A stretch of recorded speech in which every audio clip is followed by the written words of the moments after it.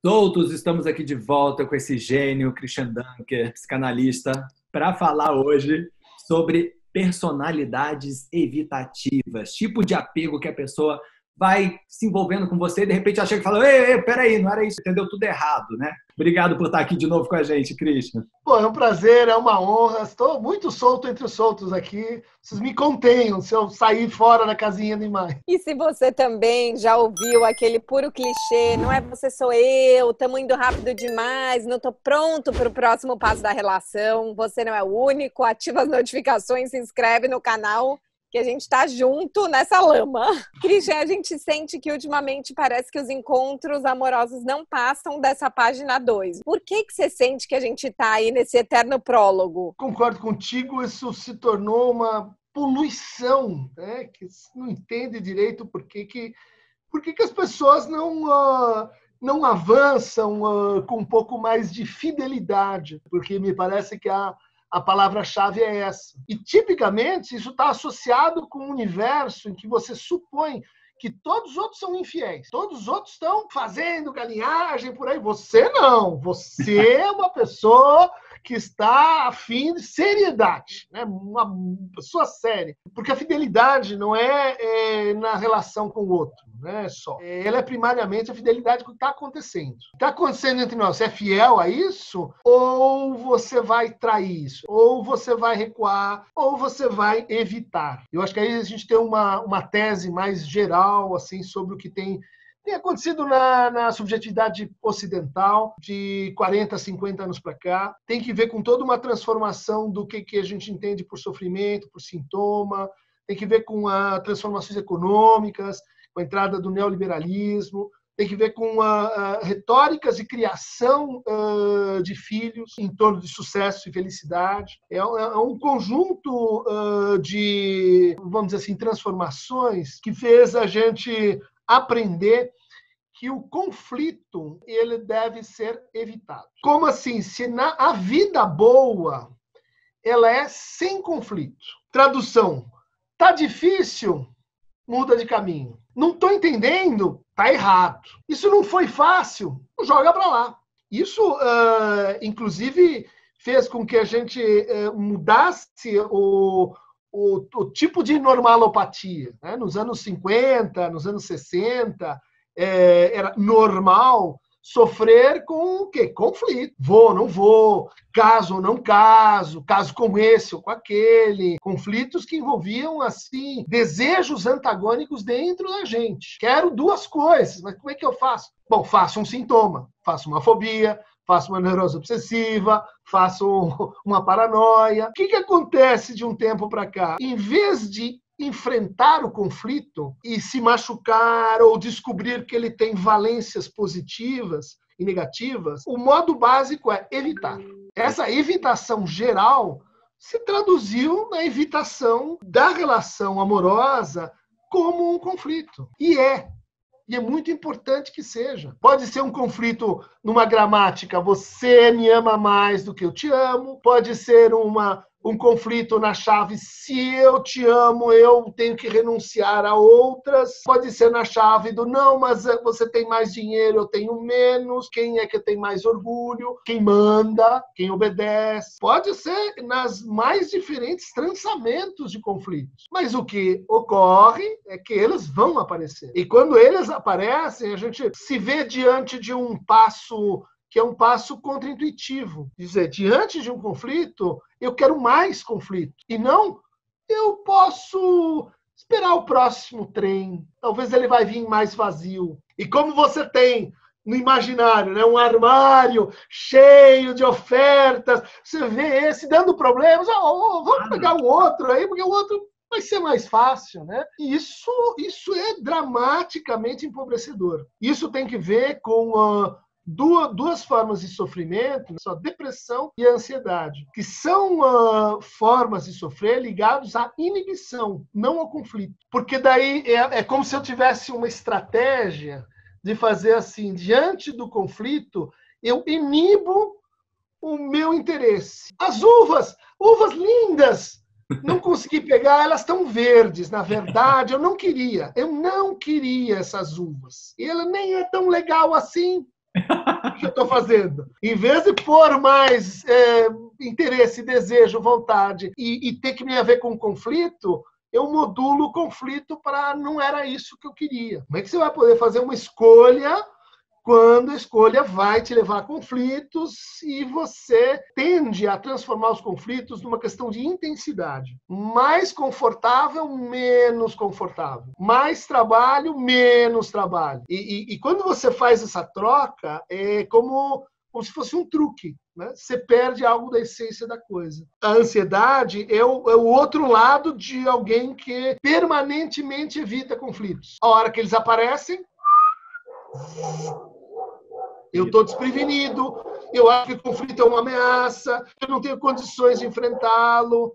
Então, eu, eu uma, uma coisa se apoia ou leva a outra. Seu vídeo, você fala sobre que a palavra é o mediador dos conflitos, né? E hoje em dia, dentro da solteirice e das relações líquidas, a gente vive nessa área cinzenta, onde a gente sente que a gente não pode cobrar, a gente não pode perguntar o que, que a gente tem, a gente não sabe as regras. E isso é, faz com que a gente não consiga lidar com esses conflitos de uma maneira mais saudável Perfeito. Uma das maneiras como no interior da experiência amorosa a gente elabora conflitos, cria em cima deles, é constituindo regras de ação. Então, quando você pergunta, quando você nomeia, é namoro ou nós estamos ficando? Que isso se tornou assim extremamente problemático? Porque isso cria regras de ação. A partir de então, eu tenho expectativas que eu não tinha antes. Ou seja, a partir de então, eu estou criando uma nova rede de conflitos porque contratos são feitos para a gente lidar né, com conflitos, negociações, eh,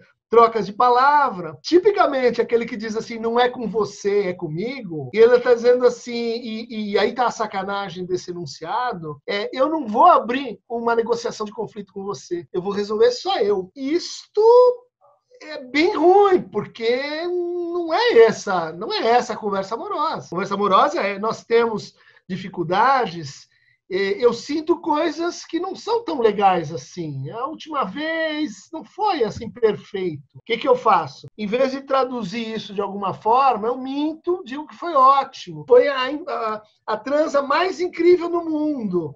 Daí você fala, bom, onde vai dar isso? Vai dar uma hora, o negócio cai porque você em vez de enfrentar um conflito, você optou por uma intensificação, uma espécie de mentira ou de auto-engano. Outra forma de falar do, daquele que se esquiva, do evitativo, é que ele é um cara que está em permanente auto-engano, está pedindo para se enganar porque com o auto-engano ele não olha para a coisa. E você acha que a gente está tendo um surto de evitativos nos últimos tempos? Sim, sim. Espírito evitativo é, ele, ele é a subjetividade dominante. Ele é a forma como a gente espera que as pessoas, em regra, sejam. O que eu vejo muito hoje em dia é essa coisa da autoajuda, do tipo, seja quem você quiser, consiga tudo que você quiser. Se a pessoa te tratou mal, melhor sair fora. Então, você acha que essa lógica que a gente tem de que há um manual e uma solução para tudo faz com que a gente seja mais evitativo? Eu acho que os manuais e os coachings amorosos,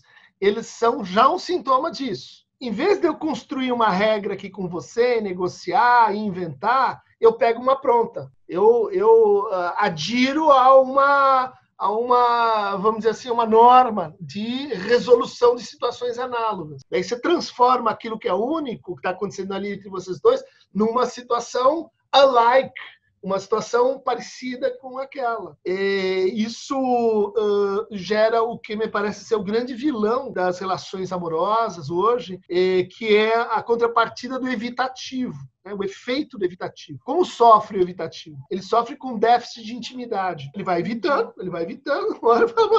Engraçado, eu tô aqui eu sozinho, eu, eu e eu, e tá faltando assim aquela mistura com o outro. Sim, você trabalhou pacientemente para excluir isso da sua vida. Intimidade não é dividir as suas coisas nudes e, e, e companhia. Intimidade é você dividir suas incertezas, sua indeterminação, seus receios na relação. Então, quando acontece uma coisa que decepciona e sai um pouco do esperado, o evitativo exclui. O cara que está disposto a pagar pelo seu desejo, ele diz: vamos em frente, mas eu tenho uma coisinha aqui que a gente vai ter que falar, que a gente vai ter que discutir. Aí vem uma outra, um outro terror, que eu também sou contra, que são as DRs. Agora precisamos conversar. A pessoa já diz: não, conversar não, conversar não. Porque dinâmica de grupo não. Porque a, a coisa é caricata, porque ela denuncia o seguinte: você não estava conversando antes. Daí agora via DR. Ferrou, amigo. A DR é só o atraso na conversa. O ah. atraso na conversa não é que não vamos ficar falando, ah, você tem razão, eu tenho razão. É que a gente não está tratando ali o real do conflito que faz e define toda a relação amorosa. As pessoas elas se tornam evitativas. O que que faz com que alguém se torne mais evitativo? São eventos externos ou é já uma predisposição? Boa pergunta, porque tem várias teorias. Algumas vão dizer assim: olha, isso tem que ver com os nossos primeiros laços com o outro. Vamos dizer que eu fiz um laço com minha mãe, com meu pai, muito intenso, muito forte e daí, uma hora ele se quebrou. Aconteceu alguma coisa e, bom, ele não cumpriu aquilo. O que, que eu aprendo? Que eu não devo me ligar tão fortemente com os outros. Porque quanto mais eu me ligo, mais doloroso vai ser uma perda uma decepção. Isso tem que ver com relações primárias, mas isso tem que ver com também a, a nossa constituição social, isso tem que ver com os discursos que dizem para gente o que, que é bom amor, o que, que não é bom amor. Isso tem que ver com esse, com esse complexo né, que se moldou, e, e eu estou definindo ele assim, contra o conflito, a favor da ideia né, mais ou menos alegórica de que um bom amor é um amor confortável, é um amor que não dá trabalho, é um amor. Duas metades da laranja, elas se encaixam coladinhas. Eu não tenho nem que dizer nada elas parecem feitas em fábrica para isso. Isso é um amor pobre, né? Isso é um amor de plástico. O evitativo, ele no fundo vai ter esse, esse empobrecimento da experiência, porque ele acha a experiência penosa demais. Tem uma outra coisa, uma, uma outra coisa muito importante que concorre para isso, que é a ótima, nova e muito boa variedade de experiências amorosas que, nós, que essa geração pode ter. Isso é super legal, isso a gente não fala, mas é, a minha geração não teve. Possibilidade de namorar, sei lá, 15, 20, de adiar o seu casamento, de reiniciar a vida, fazer dois, três, quatro casamentos, de ter uma terceira idade produtiva. Isso tudo é super incrível, é uma, é uma novidade. Então, estamos na primeira geração que tem essa forma, eu vou chamar assim, ampliada de amar. Isso é maravilhoso, isso é, é um avanço é, que, que de jeito nenhum quero dar uma, uma volta atrás. Bom era quando o bacalhau vinha assim em postas e era verdadeiro. Não volta nesse bacalhau pra merda. Esse é muito melhor. Só que a gente precisa aprender, né?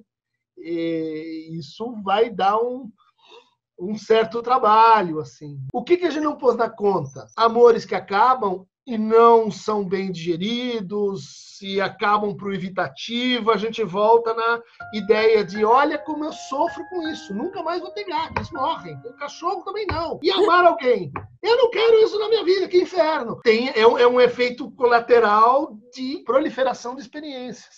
E Christian, você acha que os homens são mais evitativos do que as mulheres? Ou isso é um clichê? Boa pergunta eu acho que eles estão um pouco atrasados em relação ao nível de implicação que as mulheres conseguiram ter com o próprio desejo. Em regra, talvez as mulheres, até por processo social que, que interpelou as mulheres para. Escuta, você tem um desejo, ela tem que ser levado a sério, não ponha ele embaixo da cama e não tem nada a dever a outras formas de desejo. Foi todo um esforço para que as mulheres pudessem dizer que sim, quero ter uma vida sexual eh, não ligada ao amor, se for o caso, quero casar mais tarde, né? E isso uh, fez com que a posição de implicação aumentasse. E os homens, em regra, e levando adiante essa generalização, uh, não acompanharam muito o passo. Né?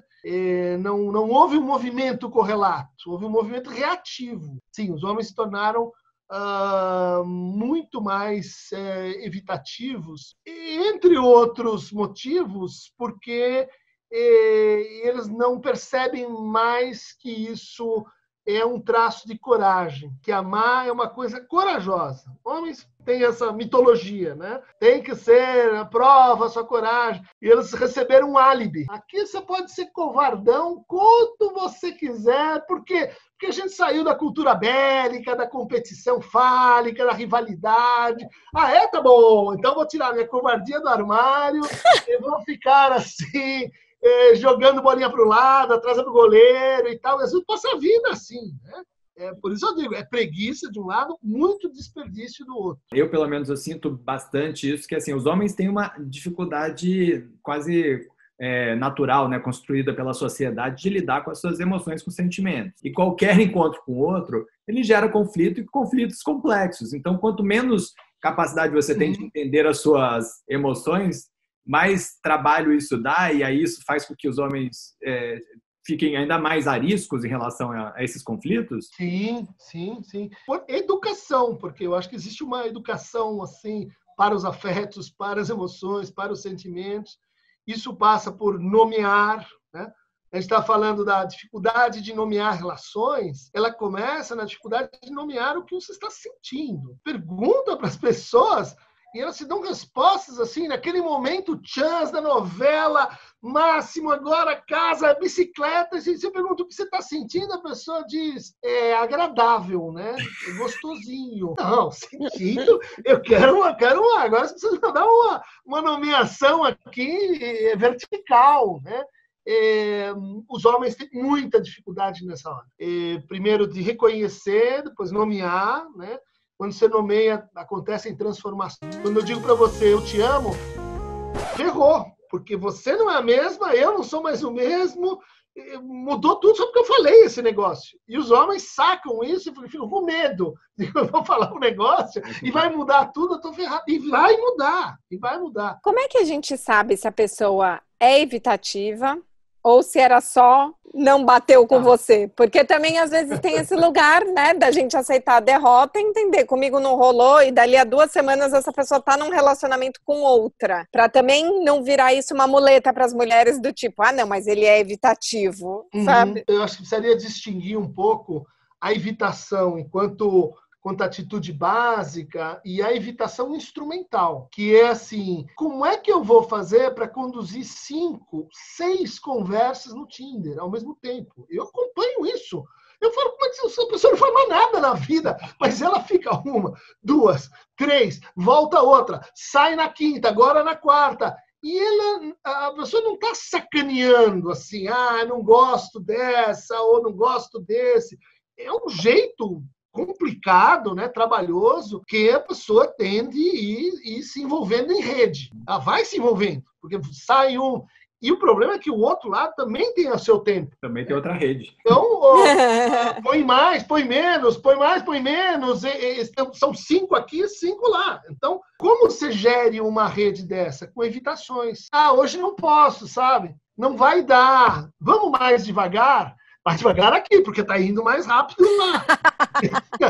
a pessoa diz, é, é, eu tenho que manter a coisa, é, vamos dizer assim, numa evitação uh, instrumental. Banho-maria, né? O banho-maria. Quem está do outro lado fica muito irritado, fica puto, porque você está pondo e não está vindo. De fato, existe um ajuste de intimidade aí muito fino, muito difícil de fazer. Mas, a rigor, eu não gostaria de condenar a situação. A pessoa tem, quer conhecer cinco ao mesmo tempo, vai ter um super trabalho. Se você leva isso em conta, Uh, muitas vezes, uh, vamos dizer assim, os outros vão caindo e de repente você ficou lá, ficou esperando e era. É. Eu, eu, eu, porque, não sei, eu não estava tão desesperada, não dava tanto para esse cavalinho assim que estava correndo pelo lado, né? É. É, mas precisa entender essa mudança na lógica da escolha. E isso realmente, assim, as pessoas têm uma ilusão de que só você está com três, quatro e o outro não. Ele tem que estar interessado só em você. Daí você toda vez cai na mesma, no mesmo erro. Fernando Pessoa tem um poema que ele fala. É, e, se, e se só tu és importante para ti, ó mito, não serão todos os outros assim também? Você sabe? é melhor impossível. Ô, Christian, e uma pessoa que se identificou com esses sintomas, que se entendeu como uma pessoa que tem essa dificuldade de lidar com o conflito, que tem essa personalidade evitativa, ela tem como procurar ajuda e conseguir mudar isso? Sim. Vamos dividir aqui em três, né? Tem os evitativos que essa é a, a gramática básica de amar. Tem os evitativos instrumentais. Ele tem que fazer aquilo. E, e tem o, o, o, evitativo que é o, o sequelado. Ele está num período de eu preciso de um amor para me curar do amor de onde eu vim. Eu não posso tomar outra pancada agora na cabeça que vai ser muito ruim. Então, então eu vou devagar, mas não é porque eu tenho que ir devagar, porque eu não consigo ir mais depressa. É, é porque nessa situação eu tô, eu tô me protegendo mesmo, né? Eu tô estou uh, machucado, não estou jogando todo o futebol que eu posso. Uh, Para aquele que tem uma atitude evitativa no amor, geralmente ele vai ter uma atitude evitativa na vida. Então, esse é um problema maior e que vai ter esse capítulo e que vai, bom, vai, vai ter que elaborar mais questões como mistura com o outro, confiança, né? Quer dizer, o evitativo ele tem um, um, um, equívoco que é assim: o outro precisa confiar muito em mim para eu confiar nele. O outro alguém tem que começar, né? Comigo para eu poder me abrir um pouco. Por quê? Porque ele foi formado mesmo com uma uma válvula de intimidade mais restrita. Isso não é legal, porque na lógica das, dos sentimentos funciona sempre eh, se você quer uma coisa, ofereça aquilo. Você quer uhum. intimidade? Ofereça intimidade. Você quer respeito? Ofereça respeito. Você quer confiança? Ofereça confiança. Né? Mas então aí você tem um trabalho todo com uh, redescobrir como, como o conflito pode ser interessante. Para aquele que tem uma evitação instrumental, deixa que a natureza marca. Depois de um tempo, como a gente diz no futebol, o cara começa a cansar. Eu não consigo, cinco não dá. Então, então, é, cinco não dá, que tal duas, né? É, é uma coisa mais prática, assim, né? É não, uh, não, não se opor demais a isso como uma infra... como se isso fosse uma infração moral. E para os uh, sequelados, eh, que eu acho os mais difíceis, né? porque tem uma outra coisa concorrendo para a produção desse tipo de evitação, que é a nossa uh, baixa atenção ao luto amoroso. Me envolvi muito, queria muito que desse certo, não deu, eu perdi uma pessoa, perdi uma pessoa querida. O que, que o discurso social diz? Vai para frente. É. Baixa o Tinder. Continua, marcha. Ele não te merecia. Quem não te quer não te merece. E ninguém ajuda muito o outro a.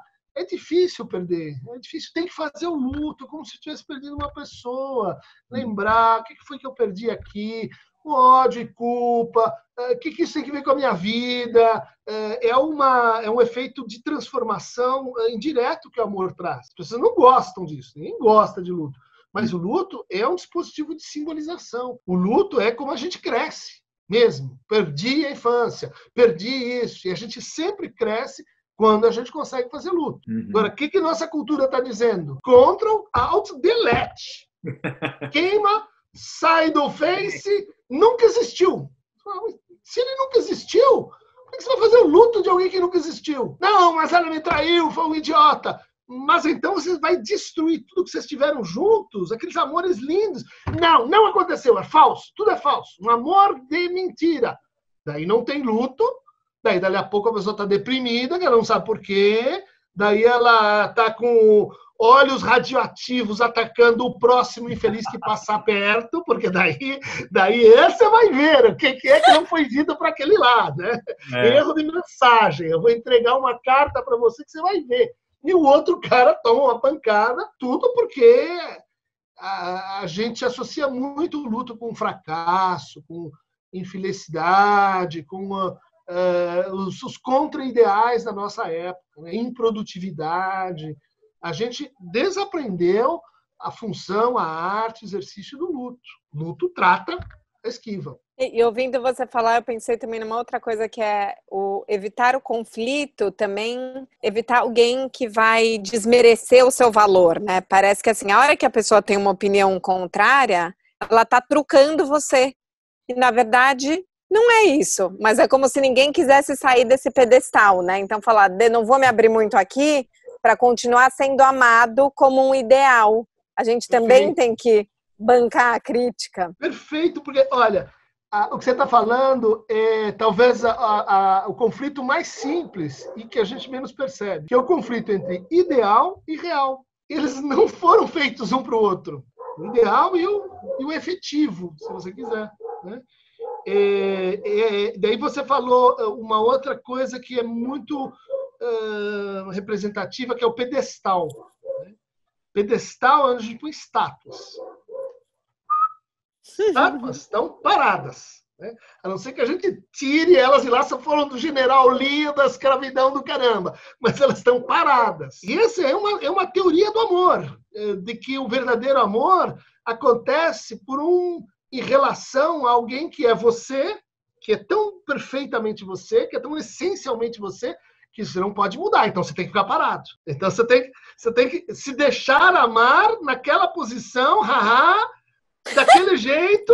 E se mudar um pouquinho, o que acontece? Conflita com o ideal que você tem para si, que você prometeu para o outro, cai toda a casa. Então, esse pedestal não é que só a gente está em cima. Ele é um símbolo da, do amor imóvel. Não é amor para ir para casa de alguém. É amor imóvel para porque ele está parado. Né? É, porque ele não confia que o brincar é uma viagem, a gente não sabe onde vai dar. E o bacana é que a gente vai indo. Ele vai acabar uma hora, fique tranquilo, mas a gente não sabe. E tem uma coisa engraçada, porque no Banquete, que é o, o, o, livro canônico que abriu a discussão amorosa no Ocidente, tem toda uma discussão sobre o que seria esse objeto que tem dentro das estátuas, que é aquilo que você ama naquele que você ama. Estátua, parado, ideal e tal, mas tem dentro da estátua um negócio chamado agalma, que tem que ver com a, com a, forma como se faziam as estátuas na Grécia Antiga, Fídias e o caramba. E a agalma é um estojo, e, que era posta dentro da, da, da uh, estátua. E quando você abria a caixinha, sabe o que, que tinha dentro? Vazio. Niente! Esse, esse é o truque do amor.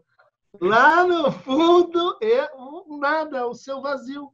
É o que falta ao outro. É isso que você ama nele. Muito bom. Porque aí você pode se pôr ali, né? No estojinho. E só nos resta é, saber que para poder amar vai ter que ter coragem, como você falou no outro o vídeo, e trabalho, suor, né? Nossa, obrigado. Christian, muito, muito obrigada. Vocês são muito legais, vocês estão fazendo um trabalho muito bacana, gente. Vão em frente. Contem aqui com o velho tio Cris para tudo que vocês precisarem. Tá Obrigada de coração. Obrigado pelo seu tempo, tchau, pela, pela, felicidade, pela alegria, pelas palavras. Beijo. Beijo. Beijão.